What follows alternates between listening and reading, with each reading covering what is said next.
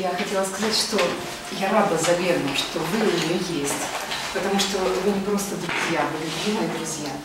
И то, что вы можете сделать для каждого, и для нее в том числе, она это уже сказала. Потому что когда книга пришла к нам, вот она ходила по рядам, э, она внезапно открылась вот здесь, вот здесь. И смотрите. И вот уже захвачены врасплох, и нас внезапно покидает время, где мы опять становимся не теми, кем кажемся себе. Но, видит Бог, в попытке вычесть знаки препинания мы сочиним такой молитвослов, в котором все равняется любовь, а каждый звук – псалом и заклинание.